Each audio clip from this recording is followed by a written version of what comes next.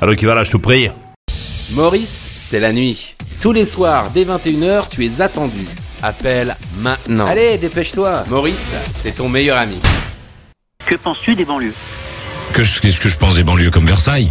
Euh, Non, non, non, non. Des Fontainebleau peut-être Non, ouais, non, non, c'est- c'est pas des banlieues. Saint-Germain-en-Laye Comment ça, c'est pas des banlieues ça? C'est quoi? Des banlieues, ouais, mais Ah bon?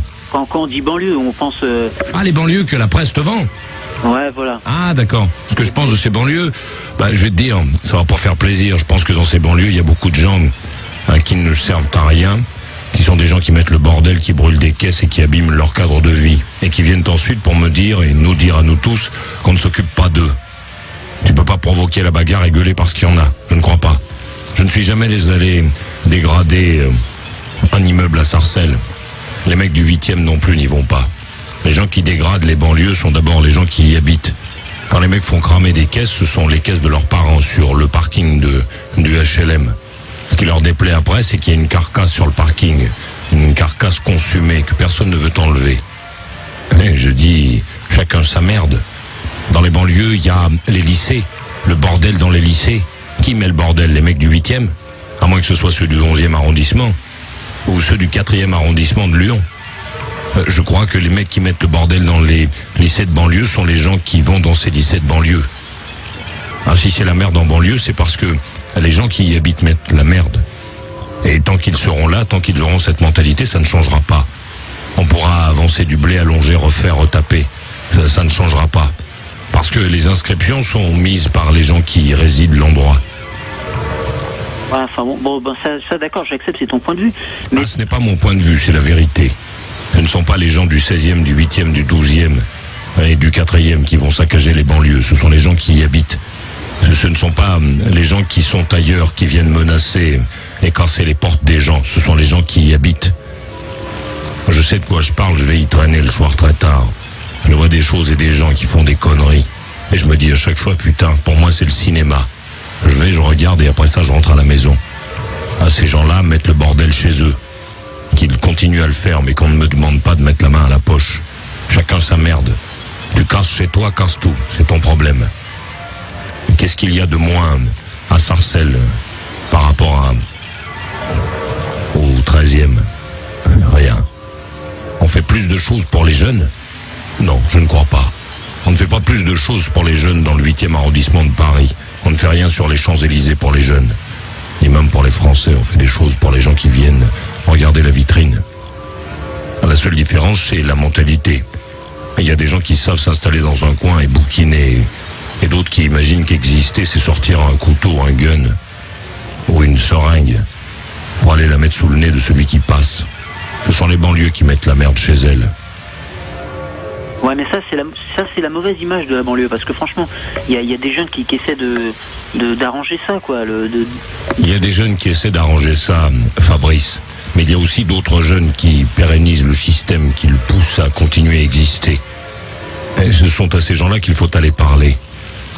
Je suis foncièrement contre les mesures diverses et variées. Je dis que c'est à ces gens de s'occuper de ce qui se passe chez eux. Alors il y a ceux qui veulent faire, puis il y a ceux qui mettent le bordel. Il faut raisonner ceux qui mettent le bordel. Pas venir nous emmerder. Ouais, mais en fait, ceux qui mettent le bordel aussi, c'est peut-être parce qu'on les pousse un peu trop quand même. Qui les pousse. Moi Mais ceux, ceux qui font rien pour, pour les, les aider, ben c'est normal, ils, ils font. Et pourquoi est-ce qu'on aiderait ces gens Tu m'as aidé, toi Les banlieues m'ont aidé un jour dans ma vie Jamais. Pourquoi est-ce qu'on t'aiderait, toi? Parce que tu as choisi d'habiter dans un dans une habitation à loyer modéré? Parce que tu paies moins cher ton loyer, donc forcément on doit te donner un coup de main On t'en donne pas déjà un T'as pas un logis T'as pas Canal Plus, la télé couleur à la maison et un salon en cuir Hein J'espère que tu rigoles. Va faire un tour ce soir et, et regarde les bagnoles qu'il y a sur le parking de chez toi. Tu vas tomber sur le cul. Des voitures baladures, il n'y en a pas. Des 500 sacs, elles sont toutes à la poubelle. Ce qui reste, c'est des voitures tout fraîchement achetées avec des crédits. Pourquoi est-ce qu'on aiderait plus les mecs de banlieue que les mecs d'ailleurs Est-ce qu'un mec qui habite Saint-Germain-en-Laye, on lui a filé un coup de main pour acheter sa maison Non. Pourquoi est-ce qu'on devrait filer un coup de main à un type qu'on aide déjà On lui donne un appart, moins cher qu'ailleurs. Et il y habite. Il vient me dire maintenant qu'il est malheureux, qu'il quitte l'appartement. Qu'il le laisse à un autre. T'habites à Paris, non? J'habite à Paris, oui. tu, tu connais franchement la banlieue? Tu, connais réellement les problèmes de la banlieue? Oui, les problèmes de la banlieue, je les connais, il y en a plein des journaux. Il y a des gens comme toi qui sont malheureux toute l'année qui viennent nous dire que c'est parce qu'on ne les aide pas. Je dis qu'on n'a pas à les aider, ils n'ont qu'à se démerder tout seuls. Un mec pour travailler à l'école n'a pas besoin d'une aide. Il a besoin simplement de se dire il faut que je travaille. Parce que dans les lycées de banlieue, quand il y a une classe et un professeur, il y a les mêmes éléments que dans le 16e arrondissement de Paris. Il y a un prof, des élèves. Point c'est. Il y a dans les lycées de banlieue, ceux dont nous parlons toi et moi, il y a des gens qui se mettent debout, qui crachent, qui pètent, qui arrachent, qui lancent, qui menacent. Qu'est-ce que tu veux qu'on fasse? J'ai entendu ce matin qu'il y avait des profs à côté de Rouen qui ont, qui ont décidé d'arrêter de bosser. C'est ces mecs-là qu'il faut soutenir. Les mecs qui en ont marre, qu'on les menace, qu'on les traite de tout. Ils viennent pour essayer d'enseigner quelque chose à des gens. Et le discours, c'est non. Ne comprenons pas ces gens qui essaient de bosser, qui ont préparé des diplômes. Essayons d'aider ces jeunes malheureux qui font chier tout le monde et qui se plaignent toute l'année. À cela, je dis merde, mon vieux. Merde profond. Alors, Kevin, je te prie. Stéphane de Limoges, Quel âge as-tu? 25 ans. Qu'est-ce qu'il y a? Bah, je t'appelais par rapport à ce que tu as dit tout à l'heure euh, sur les banlieues. Euh, bon, assez souvent, j'aime bien ce que tu dis parce que je trouve qu'effectivement, tu as un regard un peu différent. Je n'ai absolument rien à foutre qu'assez souvent tu sais pas quoi. Ce qui m'intéresse, c'est ce que tu as à dire là maintenant. Et donc, ce que j'ai à dire là maintenant, c'est que par rapport aux banlieues, euh, je suis pas du tout d'accord parce que je crois que les problèmes, ils viennent pas que des gens qui sont dans les banlieues. Ah, ils viennent de qui? Ils viennent avant tout de nous, ils viennent d'une société Ah oui. euh, qui a- Ils viennent de nous et d'une société. Quand un mec fout le bordel dans une classe, tu vas me raconter que c'est une société qui fout le bordel. Tu vois, les problèmes des banlieues, c'est un ensemble d'actions. Pourquoi est-ce que Madame Michu a la trouille de sortir, euh, ah, je ne sais où, à la Courneuve, à 2 heures du matin Mais Parce qu'elle a une amie qui s'est fait ouvrir le bide un jour. Et ça, c'est pas la société, ça. C'est un mec qui habitait dans cette cité, qui traînait là le soir et qui en a profité. Pourquoi est-ce que euh, monsieur je ne sais quoi ne veut pas laisser son autoradio dans sa caisse ben, C'est parce que un beau jour on lui a pété un carreau et qu'on a pris son autoradio. C'est pas la société ça. C'est le mec qui habite là qui a choisi de le prendre. Pourquoi est-ce qu'il y a des gens qui passent devant des groupes de banlieusards et qui baissent les yeux en se disant j'espère ça va pas durer longtemps? Ben, C'est parce qu'un jour euh, il y a un type qui s'est arrêté et qui a dit quoi qu'est-ce qu'il y a le môme? Et puis que les 50 lui sont tombés dessus. C'est pas la société, ça, ce sont des gens qui font ça. Et ça s'arrête là. On peut très bien généraliser à tout va, se dire que on ne pourra pas régler sauf à coup de dollars et de blé. Moi, je n'y crois pas. Je crois que c'est d'abord dans la tête. Si tu ne branles rien à l'école, c'est pas la société, c'est toi qui fais un choix. Tu peux faire ce choix, mais ne viens pas me faire chier après. C'est toi qui as décidé de ne rien foutre. Téléphone à ces profs euh, qui sont dans la banlieue de Rouen, qui ont décidé d'arrêter de se faire traiter de tout euh, par les élèves. Et explique-leur que c'est la société qui met le bordel dans leur classe. Que c'est la société qui les effraie tous les jours. À ces gens-là, je dis, et Dieu sait que je ne suis pas forcément pour le fonctionnaire, je dis, putain, bravo les gars, arrêtez tout. Coupez le contact. Jusqu'à ce qu'on foute dehors les mecs qui foutent le bordel jusqu'à ce que vous puissiez faire le boulot pour lequel on vous paye. Ou alors allez-y franchement, venez avec une batte de baseball, puis démontez la tronche du premier gamin qui va bouger. On verra ce qu'ils vont dire les parents. On verra s'ils vont considérer que tu as le droit ou pas. Il y a un moment où cet équilibre que tout le monde voudrait avoir à chaque moment, et un moment où il va falloir le fabriquer. Est-ce qu'on joue à la guerre dans les classes Ou est-ce qu'on dit aux mecs de se calmer? On dit tout et rien aujourd'hui. On dit c'est la société. C'est pas la société, Stéphane. Ce sont des gens.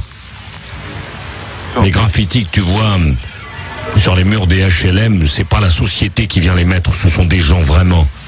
Même si on te les montre à la télé en te donnant l'impression que c'est international, euh, ce n'est pas vrai. Ce sont des gens vraiment qui vont et qui bombent les murs.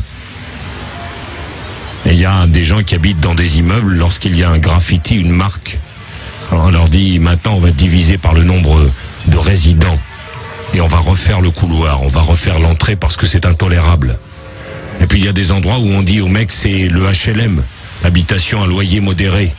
T'inquiète pas, tu peux taguer, tu vas aller râler après, puis un de ces jours tu auras les crédits, on va tout nettoyer. et tu pourras recommencer. Mais les, les gens, Maurice, c'est la société. Enfin, je veux dire, la, société, ce n'est que les gens. Et euh, le, problème, on peut pas le, le régler aussi facilement que ça. Il faut bien voir dans des cités ou dans des banlieues où il y a où il y a cinq tours euh, qui font chacune 20 étages, ça fait 5000 personnes qui sont là. Avant, quand il y avait 5000 personnes quelque part, c'était un village. Avant, il y avait un maire, il y avait une école, il y avait plein de choses qui étaient au même endroit et qui créaient des liens entre les gens. Alors c'est vrai, bien sûr, les gens ont leur part de, de, de responsabilité. Bien sûr que le dialogue petit à petit. Stéphane Oui. Stéphane, arrête de dire n'importe quoi. Il y avait quoi avant qui réunissait les gens, s'il te plaît il y a- Il y avait des endroits, des lieux où les gens pouvaient se retrouver. Aujourd'hui, il y a des jardins. Il y en a plein les banlieues des jardins avec des bancs dedans. Ils peuvent pas se retrouver là, les gens. Et Aujourd'hui, il y a des troquets dans les banlieues. Les gens peuvent se retrouver dans les troquets. Ils peuvent le faire. Pourquoi? Parce que avant, les gens avaient beaucoup plus qu'aujourd'hui. Regarde l'histoire, mon vieux. Il y a 15 ans, il y a 20 ans, il y avait moins dans les banlieues qu'aujourd'hui. Il y avait moins de jardins, moins de réverbères, moins de cabines téléphoniques. Qu'est-ce qu'ils font les mecs? Ils s'asseyent euh, dans l'entrée et ils disent la société ne va pas. Va faire un tour dans le 16e arrondissement de Paris, tu vas voir si les mecs sont assis dans l'entrée. Ils sont pas assis dans l'entrée, les mecs. Ils sont soit dehors, soit dedans.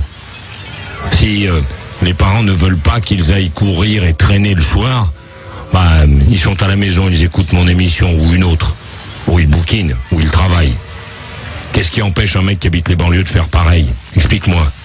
C'est la société Non, mais comment, euh, comment, pourquoi à ce moment-là, à des endroits comme à Toulouse ou même ailleurs, des gens comme les Fabulous Troubadours arrivent à rétablir des dialogues et arrivent à faire que bah, finalement les gens ne se regardent plus euh, comme ça en coin ou de travers et qu'il n'y ait plus les mêmes tensions? Mais ça n'a aucun rapport, putain, Stéphane. Ton histoire de communication et la dégradation générale du, de l'immobilier des banlieues. Parce que le premier problème est là. Hein, quand on vient avec de l'argent, on fait quoi d'après toi? On rétablit la communication? Hein, On rétablit pas la communication. On prend un peintre et on lui dit repeint. J'en connais plein, moi, des banlieues qui ont été repeintes. Ça fait un an à peine. Va faire un tour, tu vas voir. T'as envie de vomir. Tu te dis putain, euh, c'est la société qui quoi? Il y a des immeubles, des vieux immeubles dans toutes les villes de France qu'on n'a jamais repeints, qui sont là avec euh, leur pollution sur la façade, mais pas un graffiti. À l'intérieur, t'as une vieille peinture marron il y a 25 ans. Il n'y a pas un graffiti, pas un j'aime euh, Géraldine ou oh, je vais te prendre dans un sous-sol. Qui fait ça si ce sont les, si ce ne sont les gens, dis-moi? C'est la société.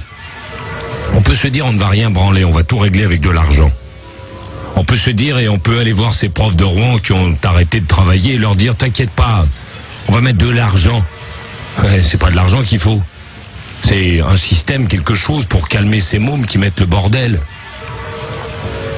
On peut ne rien faire en se disant un jour euh, la société ira mieux. Mais on peut aussi se dire finalement ce sont des gens qui mettent le bordel et le souk. C'est à ces gens qu'il faut parler. Arrêtez de leur faire croire que ce sont d'autres qui vont régler les problèmes qu'ils créent eux-mêmes, qu'ils se créent à eux-mêmes. Oui, mais enfin, avant dans les dans les villages, tu avais dans, au- tous les gens qui étaient au même endroit et toutes les différentes couches de ou tous les milieux socioculturels qui étaient au même endroit. Aujourd'hui, dans les tours, ce sont des personnes qui sont des mêmes origines. Donc forcément, Qui t'a raconté ça ben, c'est dans les dans les banlieues et dans les HLM, c'est pas généralement les gens du 16e qui vont y habiter, Maurice. Donc forcément, Non, puisque les gens du 16e habitent dans le 16e, si tu veux. Mais si tu fais très attention à l'actualité, tu te rendras compte que très récemment, on a parlé des HLM, notamment qui se trouvaient au centre de Paris. Je crois que j'ai entendu qu'il y avait des journalistes, euh, des gens très en vue qui habitaient les HLM. C'était là que résidait le scandale. Dans les HLM, il y a de tout, mon vieux. Absolument de tout. Regarde les parkings des HLM. La bagnole chez nous, c'est une carte de visite. Tu vas voir que dans les banlieues, il y a de tout. Vraiment de tout. Et puis, euh, dans les banlieues, ben, il y a les spécialistes de la dégradation. Et ces spécialistes, euh, aujourd'hui, on leur dit, c'est pas grave, dégrade mon vieux. Euh, Dégrade, c'est la société. Dans d'autres quartiers, il y a d'autres gens. Et on leur dit, euh, ne dégrade pas, autrement on va te choper, puis tu vas être obligé de financer immédiatement. La différence, elle est là. Elle est simplement là.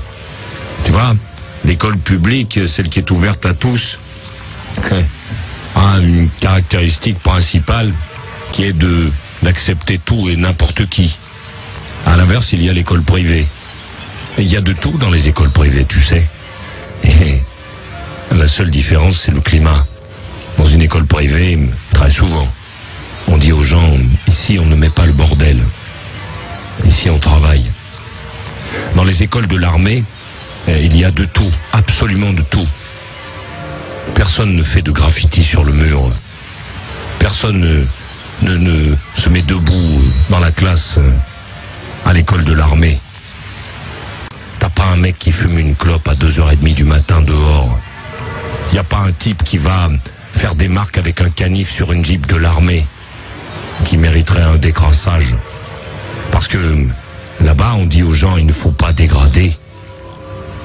Et tu fais le tour des grands hôtels aussi. Tu verras que personne n'est dans le sous-sol de l'hôtel en train de marquer des trucs. Parce qu'il y a marqué, ici, on ne met pas le bordel. Réfléchis un petit peu. C'est une question de climat et une question de volonté aussi. Mec qui habite cet immeuble richissime, celui qui te fait rêver, ben, euh, quand il est là et qu'un type passe avec un feutre à la main, il le regarde dans les yeux pour bien lui faire voir qu'il l'a vu. Euh, si jamais il y a une marque sur le mur, on va le retrouver, le mec, avec le feutre à la main. Et on ne va pas le battre, non. Pas comme dans les banlieues, on ne va pas lui taper la tête par terre à plusieurs et en l'insultant et en parlant de sa mère. On va le faire sortir le chéquier et on va le faire financer la dégradation. La différence, elle est là, mon vieux. Tu sais, la banlieue, c'est...